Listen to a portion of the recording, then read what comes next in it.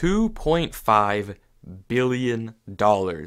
That's how much money Microsoft spent buying Minecraft from Mojang.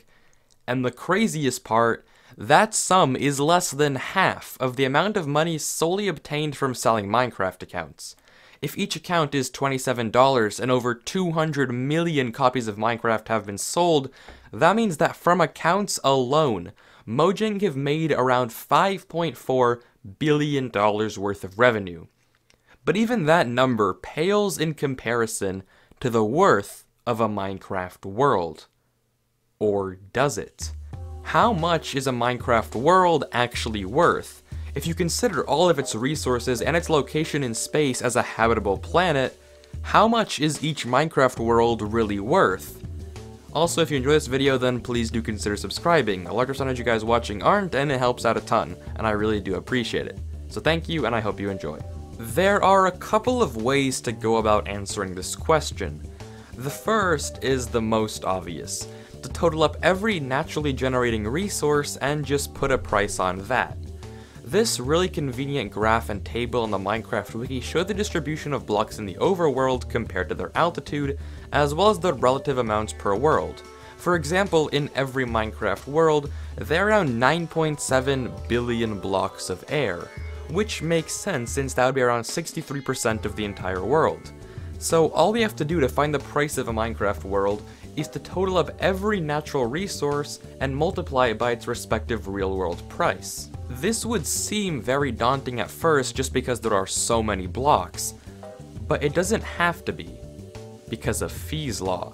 You may notice that that law has a very similar name to the channel you're watching right now, and you'd be right to think so because it's named after me.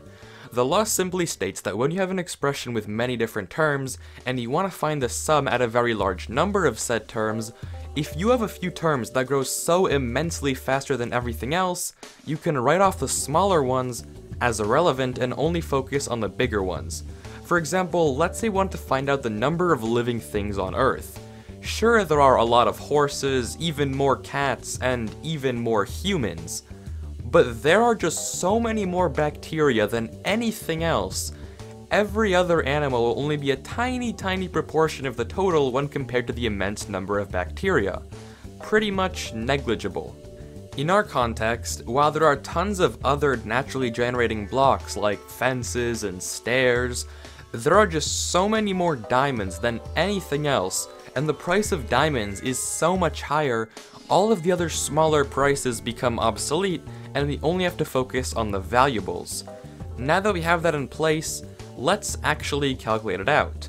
For diamonds, doing some googling and we can find the mass of a cubic meter of diamonds is 3,514 kilograms.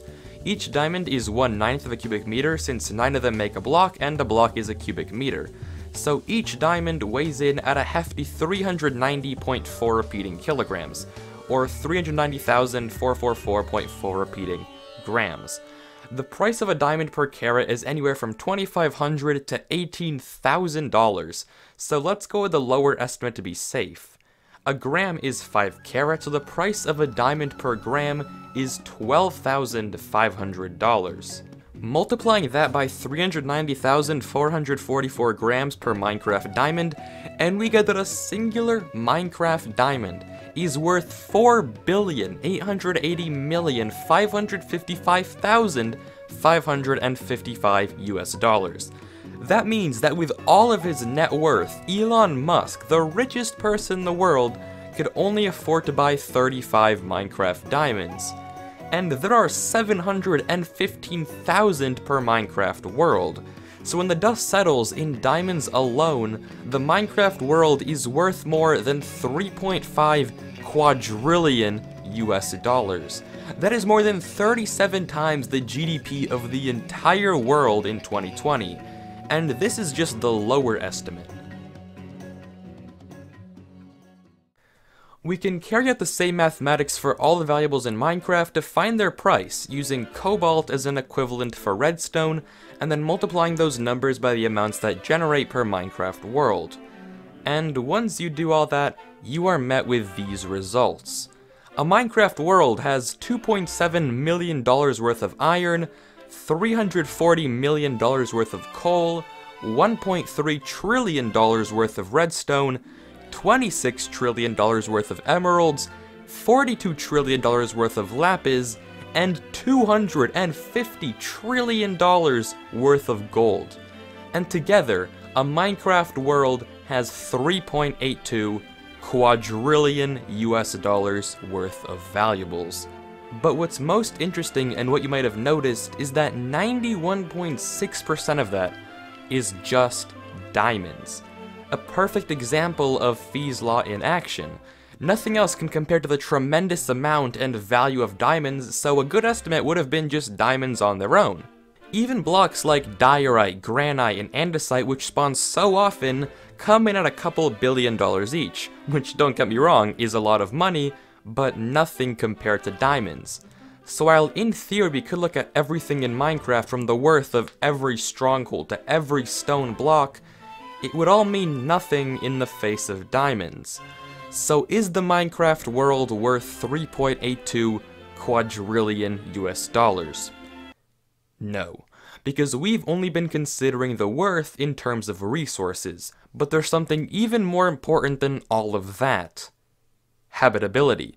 We can live on the Minecraft world, that must be worth a lot. And it is. Greg Laughlin, an astrophysicist in the University of California, Santa Cruz, devised a formula to calculate the value in US dollars of any exoplanet we discover.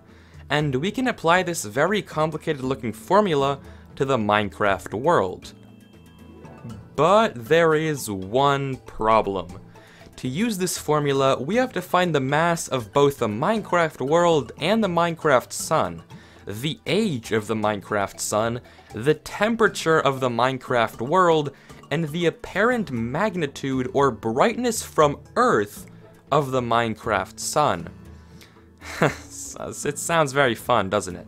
The temperature is surprisingly the easiest bit. Know it or not, biomes have their own temperature that dictate what biomes they spawn next to and if it will snow or rain in them. Using the weight of each biome and the temperatures listed in the Minecraft wiki, we get an average temperature of 0.568. 0.568 what? Sadly, there are no actual units the temperature, which is a bit of a problem. However, going off the fact that it needs to be less than 0.15 Minecraft degrees for snow to spawn, and in real life it has to be less than 0 degrees Celsius for snow to quote, spawn, and there needs to be 2 Minecraft degrees for water to evaporate in the nether, and the evaporation point of water in real life is 100 degrees Celsius, we can get a formula for converting Minecraft temperature to Celsius. So from this point onwards, I hereby dub the Minecraft temperature unit as a degree fees. You're welcome. Which one fee is 45.94 degrees Celsius. So after all of that, the average temperature of a Minecraft world is 0.568 fees, or 22.595 degrees Celsius, and for my Americans, 72.67 degrees Fahrenheit. That's a pretty warm temperature and almost the exact average temperature of Madagascar, and holy, the nether is 100 degrees Celsius or 212 degrees Fahrenheit. That is hot, very, very hot. Props to Steve for enduring that kind of heat. Hey guys, Editing Wifies here. Past Wifies was an actual idiot. Yeah, I know, big shocker. And he calculated average temperature instead of what you actually need to find, effective temperature. So yeah, apparently two very different things. Luckily, it actually doesn't make that much of a difference when you plug it into the formula because of how it's weighted, but if you are following along for whatever reason, do keep that in mind. It doesn't make that big of a difference, I got lucky this time. Okay, enjoy the video. Now that we have the temperature though, it all gets harder from here. We have to figure out the age of the Minecraft sun.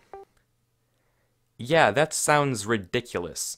Since both the Earth and the Sun generate at the same time you live in a world, we can assume that they have the same age, and all we have to do to find the age of the Sun is to find the age of the Minecraft Earth, which is definitely easier said than done. There are a couple of ways to do this, and they all give pretty good results. The first is to look at the terrain. If you haven't noticed, Minecraft has these weird, random patches of stone and dirt and diorite and andesite that seem to peek through the surface every once in a while. These are actually intentional and are called basins. They are based on the real-life phenomena of geological shields. Geological shields in real life are large exposed areas of crystalline, igneous, and metamorphic rock, which date anywhere from 570 million to 3.5 billion years old. So we can consider that as one of the possible ages of the Minecraft world, and by association, the Minecraft sun. Another way that we date planets is by using the craters on their surfaces. Since the rate of asteroids making impact has been about consistent for the last couple billion years, we can use it to date our Minecraft Earth. You may have also noticed these weird and random perfect and near perfect circles generating every now and then around the world. These are craters of meteors that have struck the Minecraft Earth. In a 8200 by 8200 area, we can locate two craters in a random new world. And assuming the rate of distribution is equal around the entire Minecraft world, we can guess there are around 107 million craters in a single world. Using some very scuffed estimation of asteroid size based on impact crater, as well as this chart outlining the ratio of meteor mass to rate of impact on Earth, we can conclude that due to the number of craters, the Minecraft world is just about 10 billion years old, which is very very old but on the same scale as our previous estimate. So now, the final metric we need is that Minecraft Earth's mass and the Minecraft Sun's mass. Yes, there is visual apparent magnitude, but to find that out, I need the flux density. Yeah, I'm not doing that, I'll just use the Earth Suns.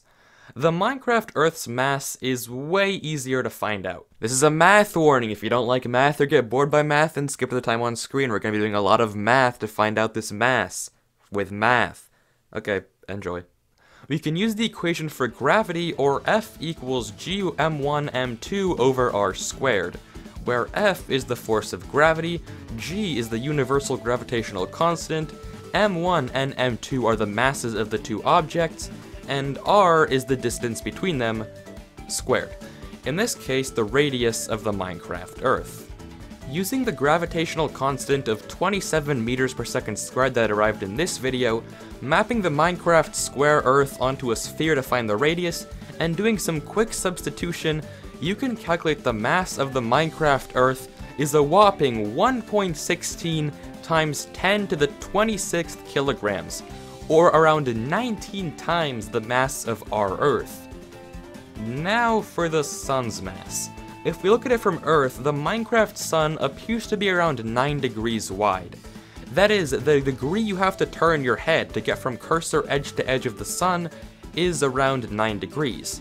Because angular size relationship with distance is linear, and assuming that the Minecraft Sun is as far away from the Earth as ours is, which is a big assumption, we can use this formula to find the diameter of the Minecraft Sun in all of its glory. This turns out to be just around 14.7 million miles, or around 17 times that of the actual Sun. So after using that measurement to find the volume of the Minecraft Sun, or 1.66 sextillion cubic miles, and assuming it has the same density as our Sun, we get a final mass of the Minecraft Sun 2.337 times 10 to the 33 kilograms, or around 1,175 times the mass of the real Sun. Finally, we have everything we need to calculate the value of the Minecraft world. Plugging it all into our formula, we get this. The Minecraft Earth is valued at 0 point zero zero zero zero zero four eight dollars, or one two thousandth of a cent. That is worthless. The culprit for this insanely low number is the mass of the Minecraft Earth all of the figures are relatively consistent with what they would be for the real Earth itself. The only one that sticks out is their ratio of masses. This formula devalues planets that have a mass far larger or smaller than that of our Earth. And sadly, the Minecraft Earth is one of those planets that is very different. But whether you want to value the Earth at 3.82 quadrillion dollars or 1 two thousandth of a cent, something you can't measure is the emotional and therapeutic value of a world. Priceless memories, friendships, and entertainment were forged on these worlds. And really, the most valuable thing in all of a Minecraft world is you, the player worth more than every diamond in every single world combined. So thank you. Thank you for watching. I really value you making it to the end. Please do consider subscribing if you did enjoy and learn something. And as always, peace out, have a good one. I'll see you next time.